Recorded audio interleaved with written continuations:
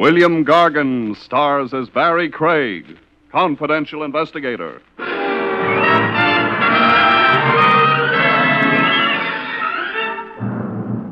I wonder if murderers, like other people, worry about their income taxes. When they make a killing, for example, do they always report it, or do they just list their victims under uh, buried assets?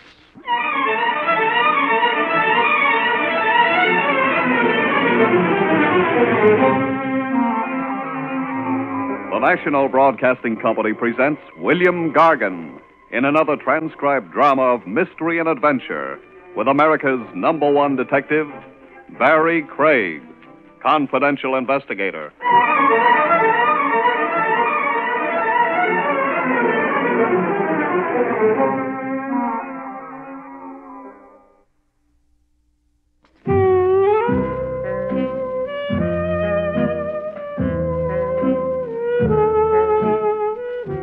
Barrie Craig speaking. I'd been to a movie. It was about a private eye who pinned a wreath on a murderer after an hour and a half of swallowing dry martinis, wrestling amorously with youthful blondes, and wearing a succession of the best pressed suits ever seen off a tailor's dummy. I decided to walk home. I wondered if there was a special license that a plain investigator like me could get that would make me like martinis and make blondes like me. It was close to one in the morning. The air was raw and cold with the tang of metal in it you get in New York. The afternoon slush had hardened to ice underneath your feet, and I decided you'd probably need more than a license when I saw her. Halfway up the block, an apartment house lobby spilled some light out into the street. Enough light so I could see that she was young, redheaded, with that pale, almost transparent skin redheads sometimes have.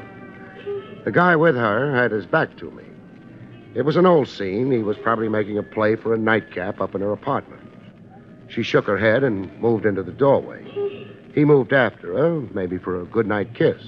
It was none of my business. I started walking. He must have tried for more than a kiss and wound up with a slap in the face. He came stumbling backwards out of the doorway, hit the ice on the pavement, and went down. I heard the door slam behind her. Either she hadn't noticed him fall or she didn't care. He wasn't moving when I got to him. A pavement can be pretty hard when you slap it with the back of your head. I tried shaking him, but he wasn't playing. I lifted his head, thinking maybe that might help bring him to, and then I eased it back onto the pavement. I couldn't be sure if the skull was broken, but by that time I was sure of something else. He'd quit breathing. Not a nice way to wind up a date with a pretty redhead. I thought she might want to know about it. There were a dozen names on the bellboard in the small lobby. Any one of them could have belonged to the redhead. I pushed the super's button. I tried the inside door.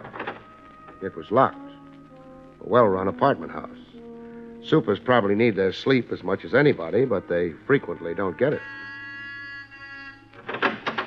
Uh, what do you want?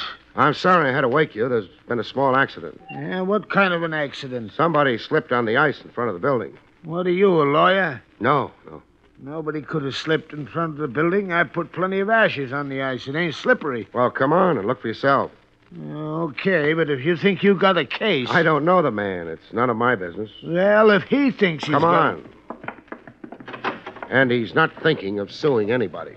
Yeah, maybe he ain't, but if you've been a super as long as I have, you know they're always looking for a chance to stick a, an insurance company. A, a...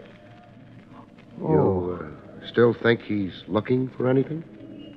well, the, the guy's dead, ain't he? Yeah. Well, that's terrible. Uh huh. You better call the police. Tell them to send an ambulance down, too, on the chance we're not such good diagnosticians. Okay, sure. And while they're doing that, I. I might as well break the news to the redhead. Huh? He'd brought her home, said goodnight to her when it happened. You mean some girl in this building? Yeah. Maybe uh, 20, pale skin, red hair, pretty. You, you couldn't mistake her. Mister, maybe you couldn't, but there ain't no girl like that living in this building. The skin on my back crawled a bit when he let me have it. Then I shrugged it off. Maybe she was staying with some people in the building. The super wouldn't have to know about that. Maybe. Yes, officer. He's laying out in front just like he fell. Yeah. Well, there's some guy here who's seen it. Name's Craig. Yeah, we ain't tried moving him. Okay, officer. Well, I'll be right over. Good. Uh, about that redhead. Look, I've been super here for seven years. I know every family in this building. They all been here for years. Well, she might be staying with one of them. There was some burglaries in the neighborhood the last couple of weeks. I checked on all the door keys. Today, there was nobody staying with nobody. Well, it might have been a sudden. She wouldn't have had no key. She didn't have to have one. She could have pushed a button and. No, No, huh? I was too close. She'd have to wait for somebody to click the door catch down in the lobby. I'd have seen her. Well, maybe she ducked out again.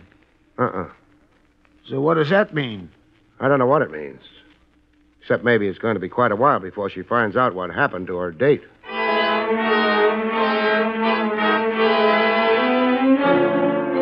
It didn't take long for the police to arrive, or the ambulance.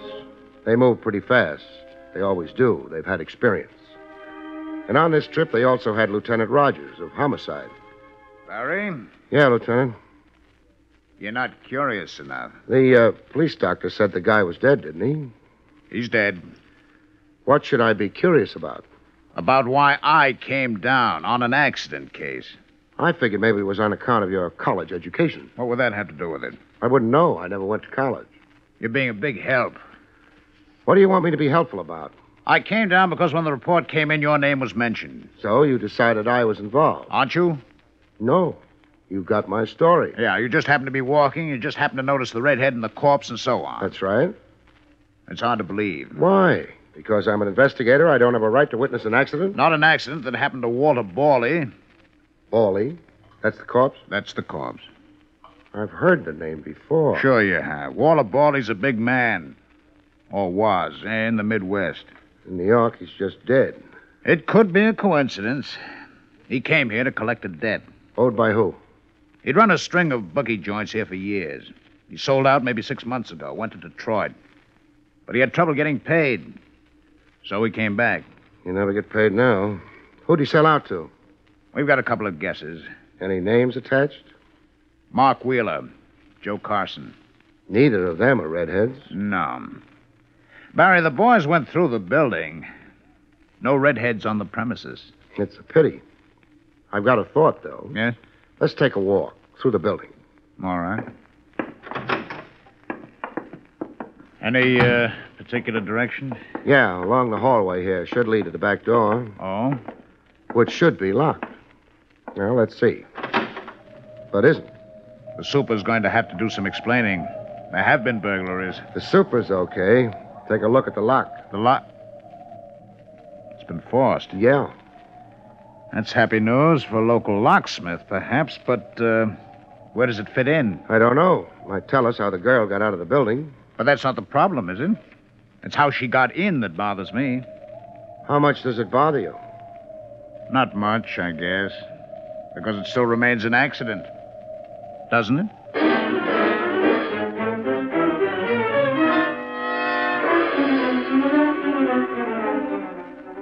Walter Bawley went to the morgue. Lieutenant Rogers went back to headquarters, and Barrie Craig bought a drink.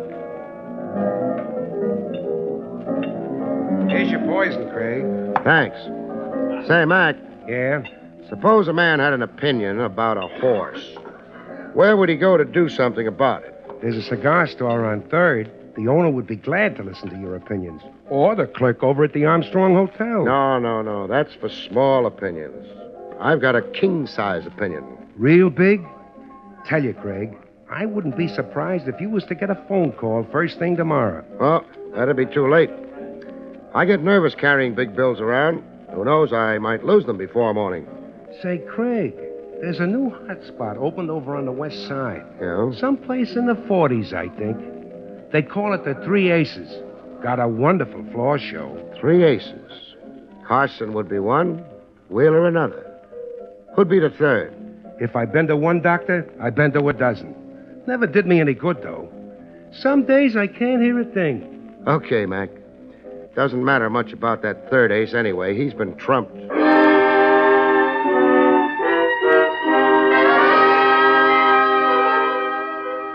The three aces was over on the west side, someplace in the 40s. They weren't letting the night die without a struggle. Everything is satisfactory, sir? Sure, except for one thing. I'm lonely. I'd like to have a man to man conversation with someone. Someone named Joe Carson, say. Or maybe Mark Wheeler. I'd even talk to Walter Borley. Very sorry, sir, but I've never heard of. Ever seen one of these before? Well, Pretty shade of green, isn't it? Nice picture of Andrew Jackson on it. Go on. Have a good look. oh, thank you, sir. You're welcome. I, uh, I will see if one of the gentlemen you mentioned happens to be around. You do that. Yes, sir.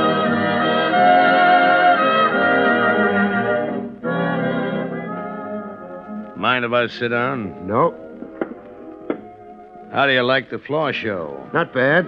One of these nights I'll come back and look at the floor. That's very funny. So so. The waiter tells me you wanted words with my partner or me. The waiter's right. You wanted those words quite a few bucks worth. I figured it was the only way I'd get them. I don't like to see men throw money away. I'm Carson. Fine. Uh, speaking of floor shows, uh, one of the regular girls is out tonight, isn't she? Which one? Well, we never got around to throwing names, but she describes easy. Around 20, redheaded, with a very white skin. Yeah, now you mention it, she's not working the show tonight. Too bad. I was looking forward to seeing her. Well, that can be arranged. Well, uh, arrange it. Okay. Only one thing. Yeah? She might not be in the right mood. See that door next to the bandstand? Yeah, I see it. If she's in the right mood, somebody will open it for you. Thanks. Don't mention it.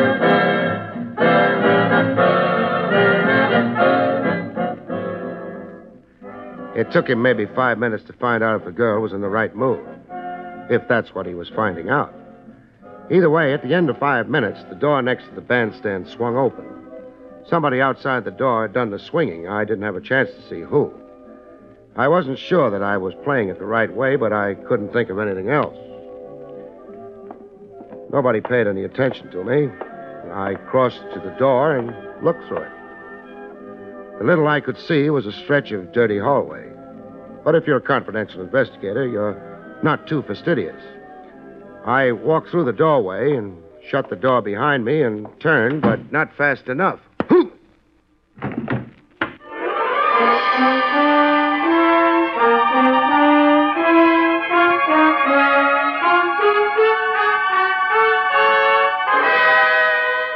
Back to Barrie Craig in just a moment.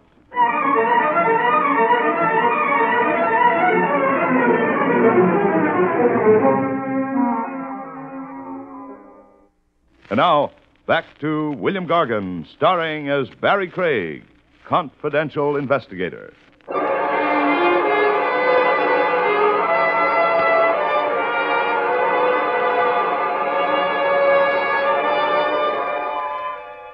I didn't know how far I'd gone and how long I'd been away, but it took a while coming back.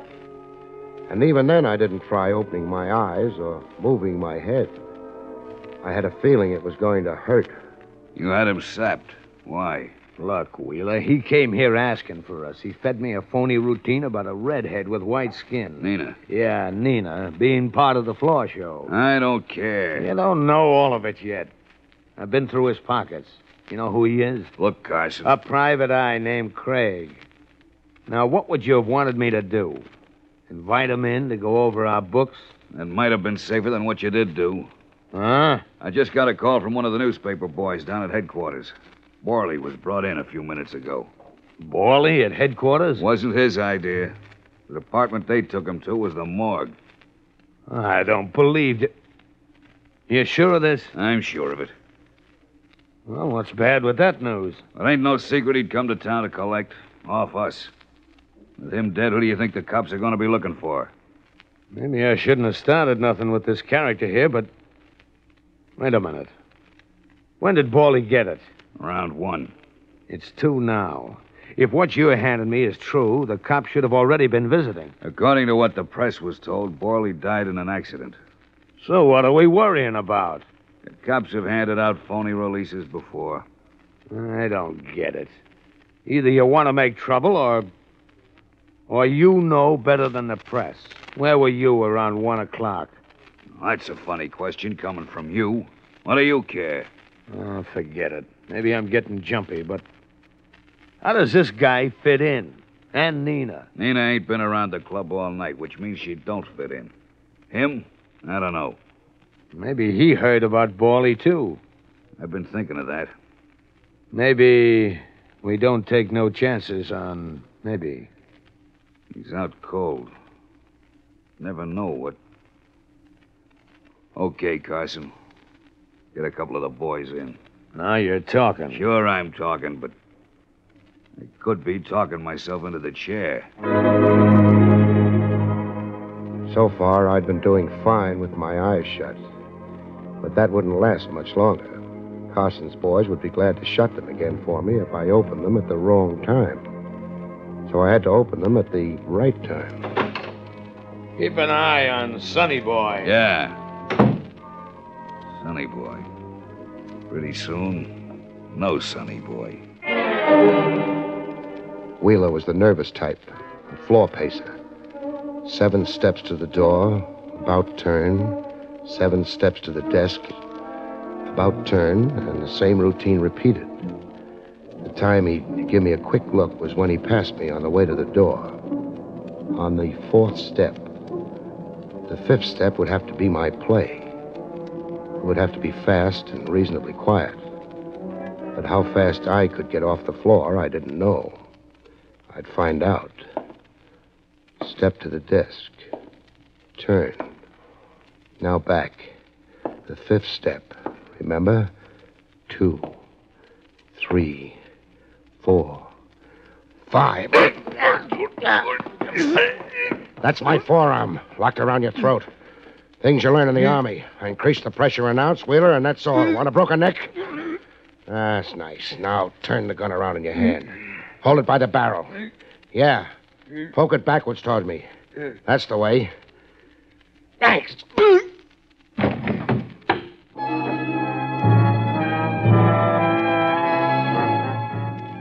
Gun butts make a funny sound hitting a man's head. I didn't stop to laugh like mad. Carson and a couple of pals would be dropping in at any minute. There was a window behind the desk.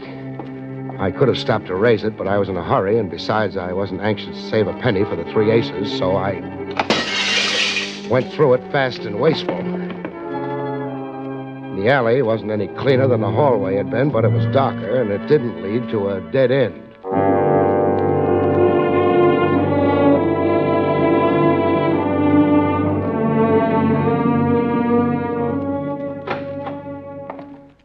Lieutenant Rogers. What?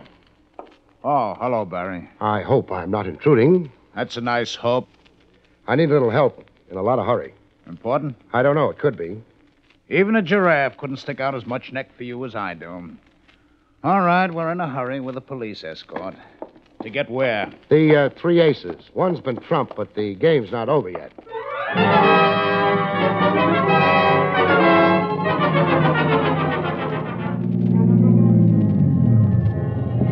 Got their instructions. Front and back of the club's covered. We go in? If you don't mind. I don't mind. The three aces. Yeah. Good evening, gent. Yeah, I'm back again. I brought company with me, though. Lieutenant Rogers, homicide. I, I, Save it for your lawyer. Take us to the office. I, I will ring. No, no. We want a personal guide. That way we can be sure it'll be a surprise. Move, huh? Yes, sir. That quiet authority always gets them. Ah, the badge. Don't be modest. A couple of square inches of tin isn't that impressive. I, uh, I don't know what Mr. Wheeler will. Nobody passed a law you have to know anything. Now knock. If a man answers, tell him you're checking the wine list or something. Yeah, uh, yes, sir. Open the door. No. Yeah. I'll explain the reason why to you. If anybody inside has the idea trouble's coming and is preparing to blow down anyone in the doorway, you'll be the one. I won't. Sure you will. All right. Mr. Wheeler. Move over, Buster. That's Wheeler? Yeah. We met earlier. I had the pleasure of knocking him down with the butt of a gun. He got up, Yeah. Sat down behind his desk, and proceeded to blow his brains out. Looks that way. But I'm stupid. What do you mean? I don't know why he killed himself. You'd escaped. He knew you'd come to the police. He was throwing the bookie racket. He still had a skin, his own. Boys like that are very fond of their skin. It'll be a hard thing to prove anything. Looks like suicide. Sure. Just like Borley's passing on looked like accident. It was an accident. No, Trav. Not an accident at all.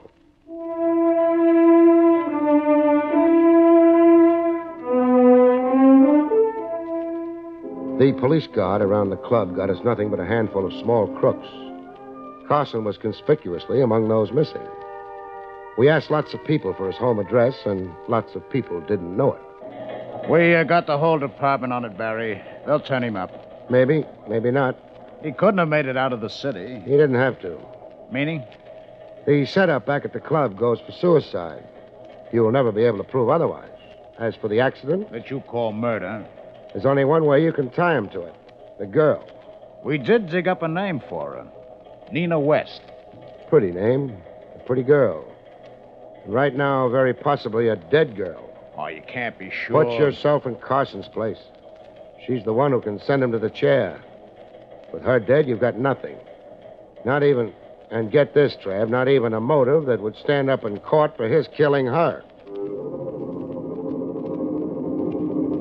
I went out and took a look at what had happened to the night. The sky was getting lighter. The winter sun would be sneaking over the tops of the buildings in an hour or two, not handing out much warmth, but a promise anyway. I started walking. I didn't try to think, because the only thoughts I had on tap weren't very pleasant. Nina West wasn't the kind of girl your mother hoped you'll marry, but she was young, pretty. I didn't think she'd known what was going to happen to her date. If she'd lived, maybe someday she'd have walked into my office in the old building on Madison Avenue and asked me to find a lost dog for her, and suddenly walking wasn't fast enough for me. I needed a cab fast. I needed to go someplace fast. Only a hunch, but it was the one chance we had, the one chance Nina West had. If she'd gone where I had to get to within minutes, my office.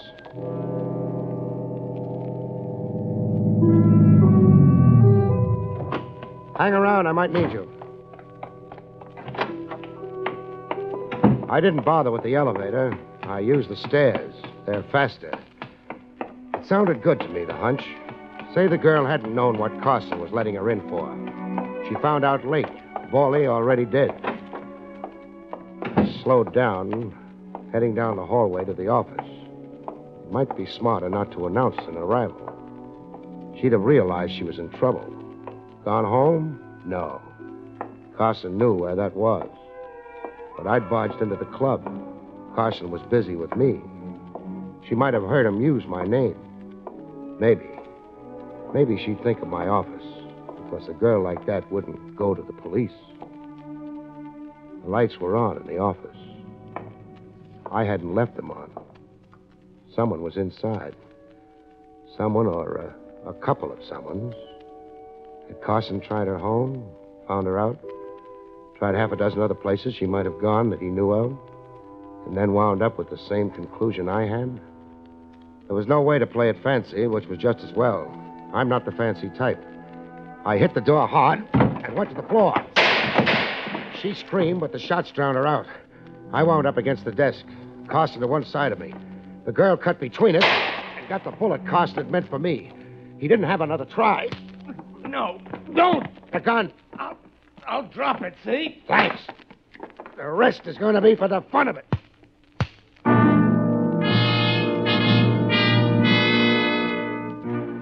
It didn't last very long. He dropped his hands. You can't hit even a Carson with his hands down unless you're a Carson yourself. I didn't qualify.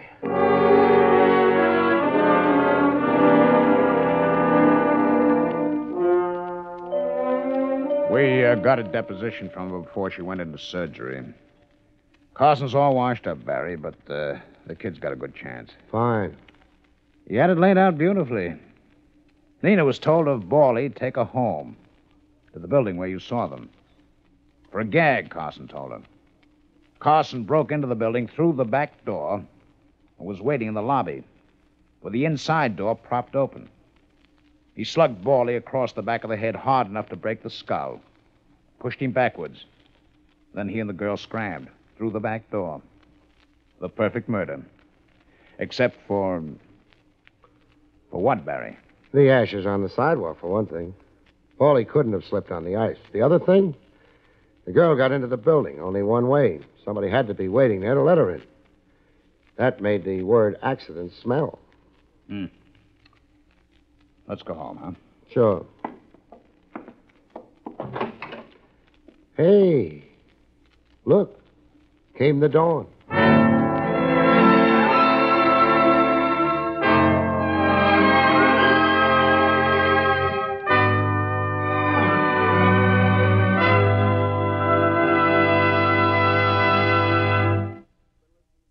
Been listening to William Gargan in another exciting transcribed mystery drama from the adventures of Barrie Craig, confidential investigator.